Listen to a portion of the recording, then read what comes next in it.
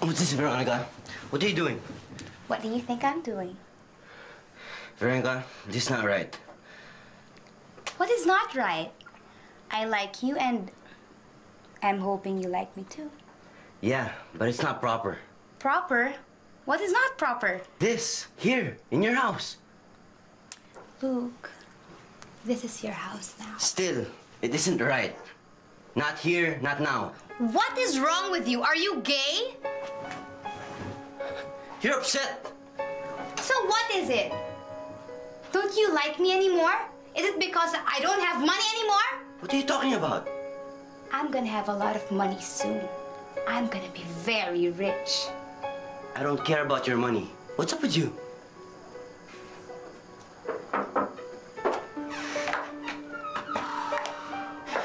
What's going on here? Nothing. Good night. Good night.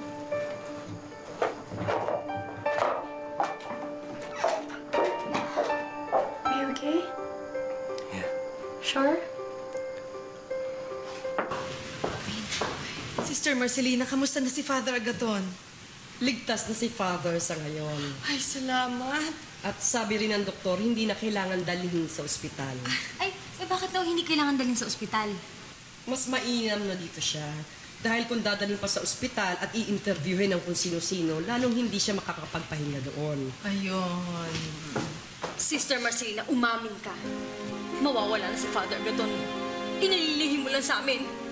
Sa ginagawa mo, ikaw ang mauunang mawala dito. Eh bakit naman kasi? Si Father Agaton eh, wala namang ginagawang masama. Ang bait-bait niya. Sige, sige, mag-ingay ka para marinig ka ni Father Agaton. Sige! Ano? Ano yan? Inulit ko lang yung sinabi mo. Sabi mo, huwag mag-ingay. So walang sound. Aatakihin ka na sa'yo. Sister, Ano ginawa ko?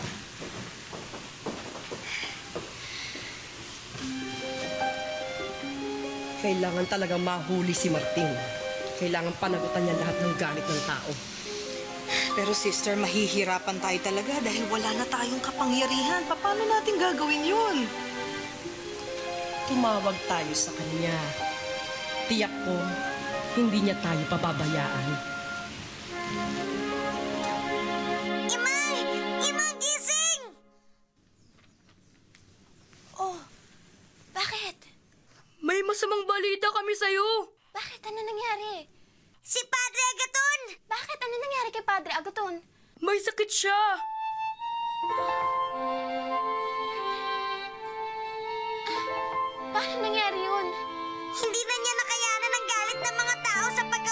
Corona. Oh, kailangan ko siyang tulungan. Kailangan ko pumunta ng simbahan.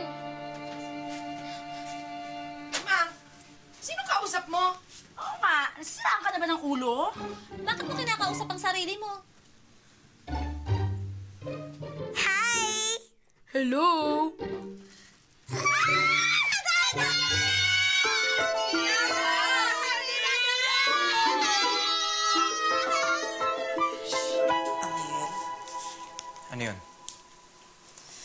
May gusto sana akong tanungin sa'yo eh.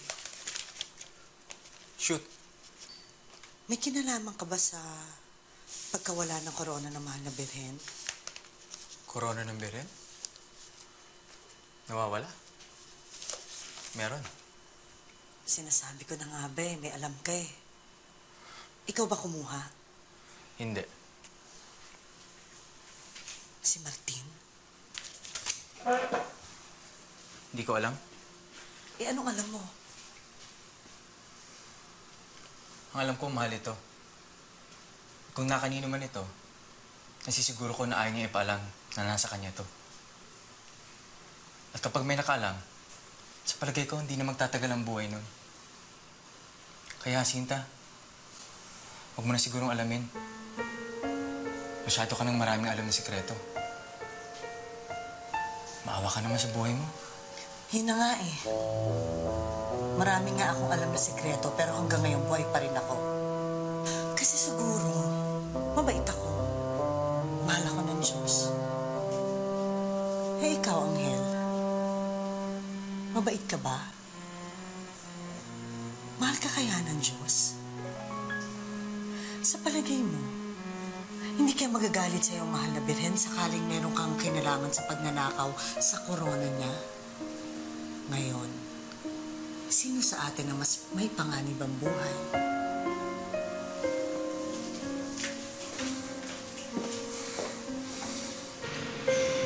Kawawa naman si Padre Agaton. Huwag ka mag-alala, Imang. Mild stroke lang daw, sabi ng doktor. Alam mo, sa kakakain niya siguro ng baboy yan eh. Imang, hindi naman yun ang problema, no? Yun yung mga tao, yun yung mga sitwasyon. Nakakadagdag na rin yung ulam namin dito, no? Ito naman kasi si Nanay Cecilia eh. Ang alat kong magluto. Hindi naman siguro ganun. Huwag ka mag-isip ng mga ganong bagay. Pero alam mo, hindi ko maintindihan kung bakit nangyayari to sa mga taong mabait sa akin. Imang, walang kinalaman sa'yo ang nangyayari kay Padre Agaton ngayon. Marami lang talaga siyang problema. Basta kailangan ko tulungan si Padre Agaton. Kailangan ko linisin ang pangalan niya. May alam si Jacinta. Ha? Paano, kuya? Akong bahala. Basta tumihimik ka na lang. Huwag kang matitinag kapag tinanong ka niya. Pasensya na, kuya. Dami ko sa problema. Huwag kang maglala. Hindi kita pababayaan. Ano mangyayari sa kapag nagkaulihan? Sabi ko, huwag mo ko alalahanin. Importante, ikaw ang maging ligtas. Maraming maraming salamat. Tatatandaan mo, kahit anong mangyari, hindi kita pababayaan. Thank you, kuya.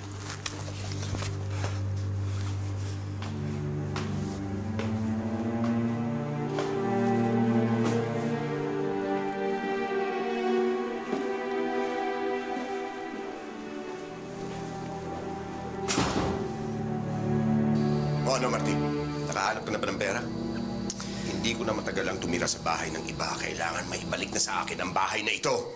Nakahanap na ako ng paraan, Papa. Higit pa sa halagang kinakailangan natin. Ganun ba? Ano yan? Baka hindi ka sumangayon. Kung maibabalik pa sa akin ang bahay na ito, bakit naman hindi ako papayag?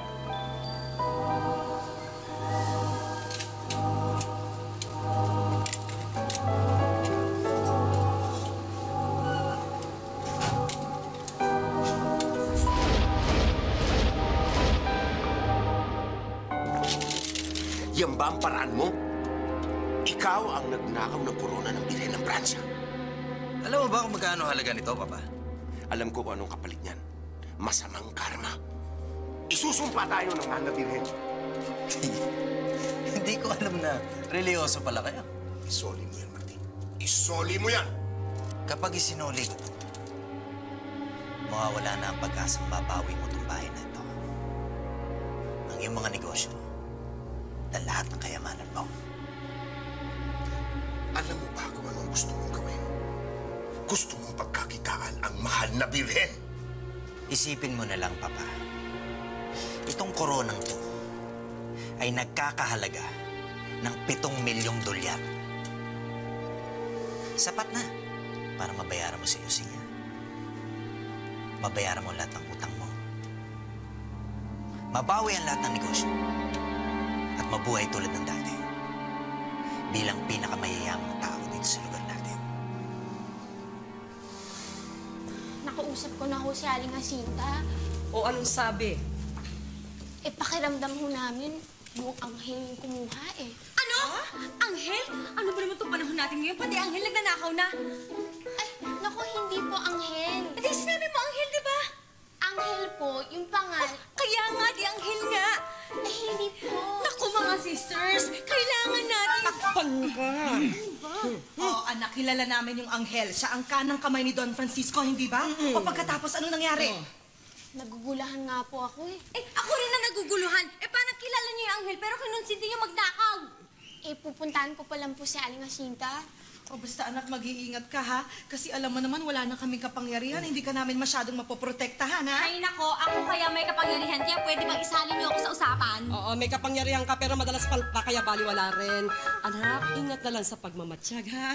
Ay, nako. Teka muna. kayo magalala. Ako pong bahala. Teka muna. Teka muna. Di ba pupunta ka mansion? Alam mo nga idea ko. Bakit hindi ka mag-disguise? Paano? Ay, di mag-maskara siya. O sige, magmamaskara siya. Pagkatapos, paano niya itatago yung likod niya? Paano?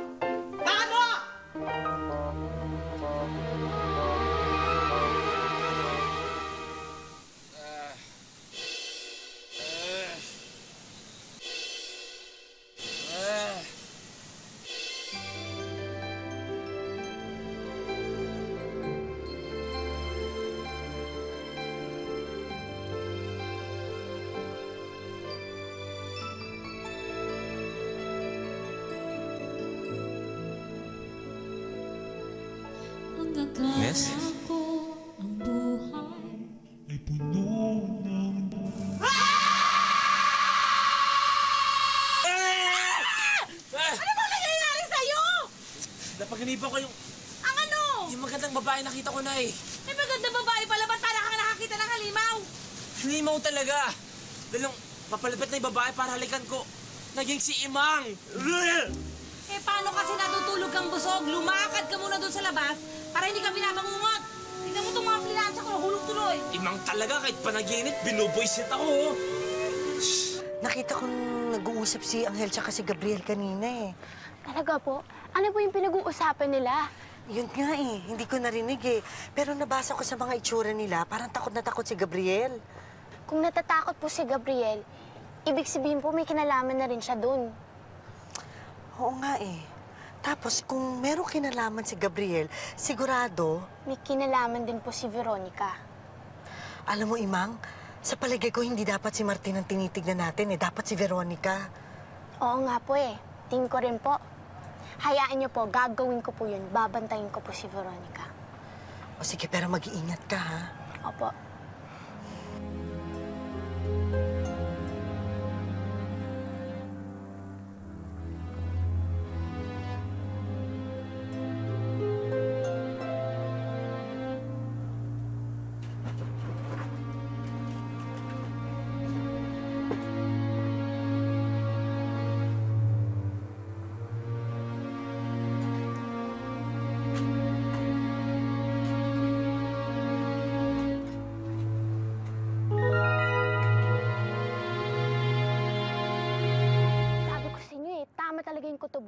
May kinalaman talaga si Veronica. Imang, paano na ngayon yan? Kailangan maibalik ko ang corona. Pero paano? Alam ko na. Eh kung kunin kaya namin ni kaibigan. Ayoko. Baka mapahamak ulit kayo eh. Ayaw din namin na mapahamak ka, Imang. Kayo naman, kaya ko na sarili ko. Huwag na kayo mag-alala, ha? O Antonio, napauwi ka. Minabuti ko nang iuwi siya dito, Tresing. Hindi siya napagkakatulog doon at may hindi kumakain. Sinasabi ko na nga ba, eh, nanibago ka siguro. Sabi ko naman kasi sa'yo, huwag ka nang umalis eh. Pasensya na po kayo, Tio Pedro. Alam niyo po kasi dito, alagang-alaga namin yan. Saka malapit ho yan sa anak ko, kaya siguro nanibago. O siya, paano? Mauna na ako at ah, babalik pa ako ng Maynila. Sige po. Iingatan mo si Antonio, Opo, ha? sige po, Tio Tresing. Pedro. Maraming salamat Sige po. po. Sige. Sige Sige, po. mauna na ako sa inyo. Ingat po. Tito Rising, pasensya ka na. ah. Kasi akala ko, kaya kong lumayo eh. Bakit ka naman hihingi pa ng pasensya? Alam mo naman gusto ka namin ni Pablo dito. Sa ilang araw na nawala ako sa lugar na ito, napag-isip-isip ko na hindi ko pala matatakasan ng kalungkutan. Kahit saan ako pumunta, susunod at susunod sa'yo. Ngayong nagbalik ka, kaya mo na bang harapin ang lahat ng ito? Sa tulong niyo, te, makakaya ko rin ang lahat ng ito. Unti-unti, matanggap ko rin ang lahat. Tama ka, halika na. Pumasok na tayo sa bahay. Papa, Huwag kang mag-alala, Lucia. Gumagawa na ako ng paraan para mabayaran kita at para mabawi kong muli ang bahay na ito. Papa, hindi naman po ako naniningil eh. Ah, Maaaring sa papel, akin ang bahay na ito. Pero, pero sa'yo pa rin ito kung tutuusin, Papa. Huwag ka na magpaligoy-ligoy pa, Lucia. Ano ba talaga ang gusto mong sabihin? Ang anak ko, Papa. Anong alam niyo tungkol sa anak ko? Ano yung sinasabi mo? Papa, alam kong may kinalaman ka. Ang gabing nawala yung anak ko nung mga anak ko. Hanggang ngayon ba, ibinibintang mo pa rin sa akin yan? Ilang beses ko bang sasabihin sa'yo, wala akong alam! Papa, nakikiusap ko sa'yo. Labing pitong taon na ako nangungulila sa anak ko. Hindi ko kasalanan yon, Lucia. Isumbat mo yan sa magaling mong asawa. Siya ang naglaho na parang bula ng gabing yon. Papa, patay na si Antonio. Wala nang ibang tao makakapagturo sa akin kung nasa ng anak ko. Hindi ko na problema yan, Lucia. Nakikiusap ako, Papa, parang awa mo na nasa ng anak ko.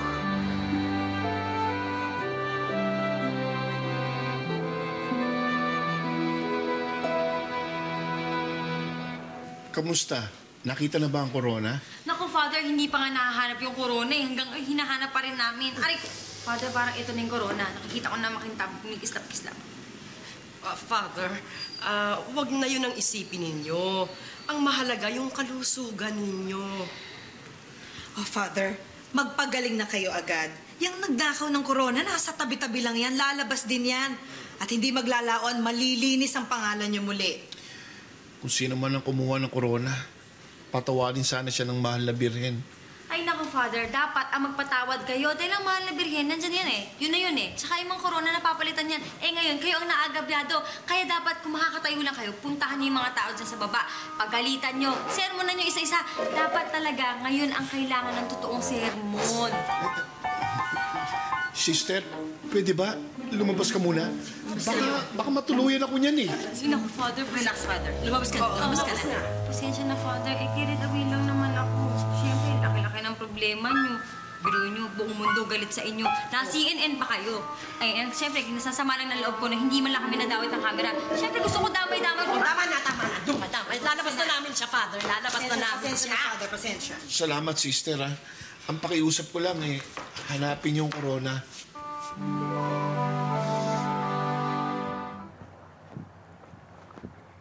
Veronica!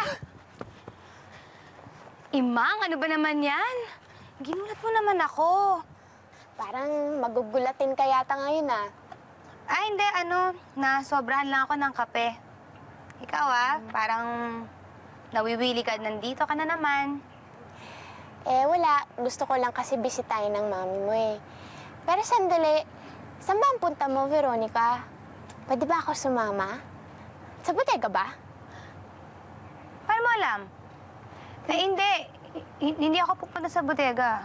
Eh, wala lang kasi parang doon ka kasi papunta eh. Eh, pwede ba ako sumama? Hindi. Hindi ka pwedeng sumama. Ano naman ang gagawin mo dun? Eh, bakit? Bakit hindi pwede?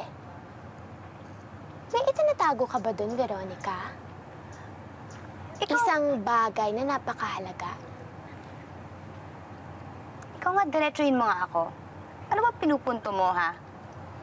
Pinagbibintangan mo ba na ako ang kumuha ng corona? Kagaya ng pagbibintang ninyo kay Daddy? Pwes, sasabihin ko sa'yo na wala akong kinalaman sa pagkawala ng koronang yon. Oh, Veronica, sandali lang. Eh, wala naman akong binabanggit na corona. Paano siya pumasok sa usapan natin? Inunahan lang kita. Pinakikisamahan lang kita, Kuba, para kay Mami at kay Tita Lucia. Pero hindi ibig sabihin nun, anytime, pwede ka nang pumunta dito sa pamamahay na to at lasunin ang isip ng mga tao dito. Hindi ko nilalaso ng isip ng mga tao dito, Veronica.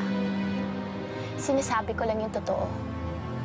Ngayon, kung sa mga sinasabi ko, kayo ang pinagbibintangan, eh, wala na akong magagawa doon. Dahil kaduda-duda naman talaga yung mga itsura ninyo.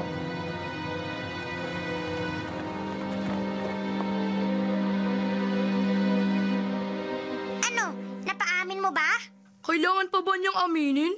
Eh kita-kita naman na tinatago nila ang corona. Eh kung isumbong na natin. Naku, wag. Gusto ko kasi isoli nila ng kusa ang corona. Imang hindi mangyayari yun! Ang magnanakaw ay magnanakaw! Hinding-hindi na niya isusoli ang ninakaw niya! Bigyan natin sila ng konting panahon pa. Baka sakaling makonsensya sila. Ang tanong, may konsensya ba siya? Bakit mo pa sila hihintayin, Imang? Nasa atin na ang pagkakataon para mapatunayan sila! Dahil sa kabila ng lahat, ayoko pa rin naman sila makulong eh. Ayoko magalit sa kanila mga taong bayan. Talang unang-unang malulungkot yan, si Nanay Lourdes.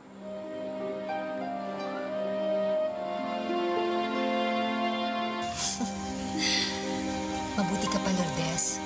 Nasubaybayan mo ang paglaki ng anak mo. Samantalang ako ni hindi ko alam kung sino nagpalaki sa anak ko. Wala ka bang natatandaan sa kanya nung ipinanganak mo siya? O kahit na anong maalala? Mag-isa lang ako noon eh. Umalis si Antonio dahil humingi siya ng tulong. Ang hirap ng pakiramdam, Lourdes. Wala akong karamay nung ipinanganak ko ang anak ko. Pakiramdam ko, nagbibigay ako ng buhay kapalit ng sa akin. Pero nakaraos din ako. Naramdaman ko ang paglabas niya sa mundong ito. At nung una ko siyang makita, yung lahat ng sakit, yung paghihirap na naramdaman ko, nawala lahat yun. Napakaganda niyang bata. Bilugin yung mga mata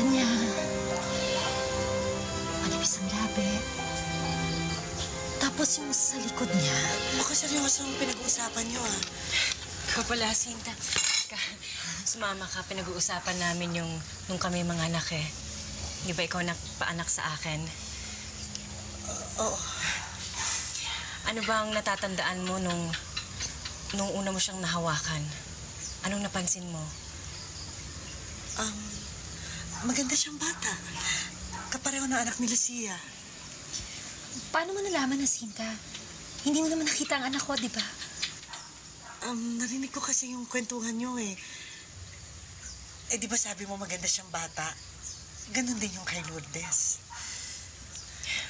Bukod doon, wala ka na bang ibang napansin? Wala na. Bakit, Lourdes? May kakaiba ba kay Veronica nung pinanganak mo siya? Wala naman. Maliban sa maligalig siya tuwing hinahawakan ko siya. Na para bang para bang may hinahanap siyang ibang ina. O, Imang! Imang! Anong nangyari? Ano? Napaamin mo na ba yung magnanakaw? Napakasiga naman magsalita. Ano, kumanta na ba yung mga kawatan? Oo, ano yun? Isa ka pa naman eh.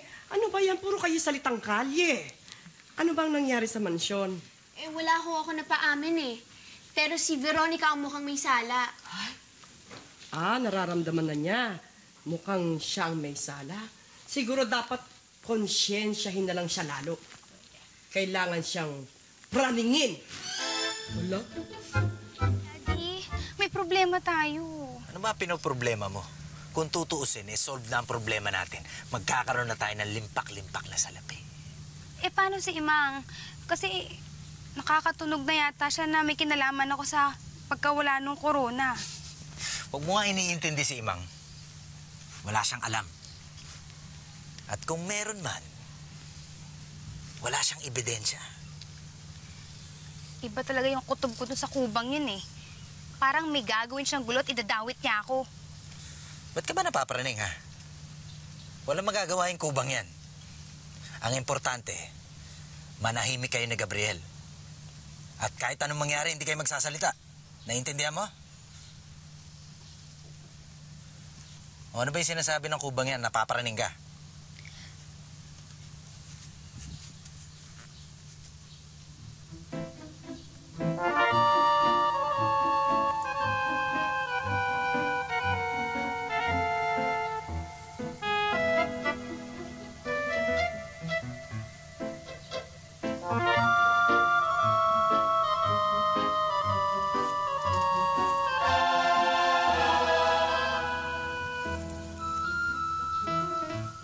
Sinasabi mo? Hindi kita naiintindihan. Pasenyas-senyas ka pa.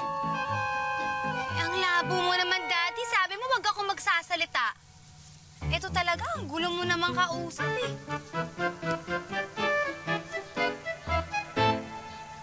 Akala ko ba magtatagal ka sa Maynila? Bakit nagbalik ka na kagad? Ang labo mo naman. Nung nagpapaalam ako, Pilit niyo akong pinipigilan.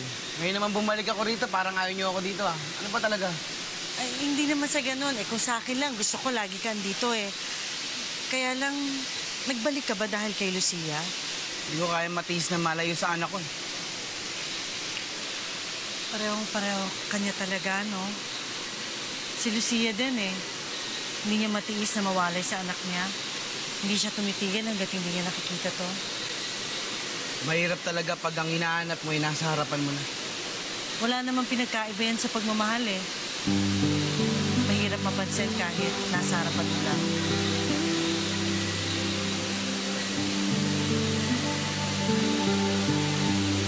Oh, ready ka na ba, sister? Eh, parang hindi ko kaya to. Ako lang mag-isa. Hmm? Eh, kung may kapangyarihan lang kami, wala lang talaga kaming choice eh. Sana pinatulog ka na lang namin. Oh, ayan. Ayan, kaya ka nakakarma eh. Wala ka tuloy kapangyarihan. Bleh. O sige, ipagyabang mo yung kakarampot mong kapangyarihan. Oo! Sige. Ah, so wag na lang. Lo, sige na. Naku, talaga naman, oh. Okay, basta i- guide niyo ako ah. Oo, sige. Oh. Ipikit mo yung mga mata. At mag-concentrate kang mabuti. Susundin mo lahat ng sasabihin namin. Are you ready, sister? Ready. Akoma. Akoma. Akoma ba? Akoma ba? Akoma ba? Ho? Akoma ba? Ho? Akoma ba? Ho? Akoma ba? Ho? Akoma ba? Akoma ba? Ho? Akoma ba? Ho? Akoma ba? Ho? Faster. Akoma ba? Ho? Faster. Akoma ba? Ho?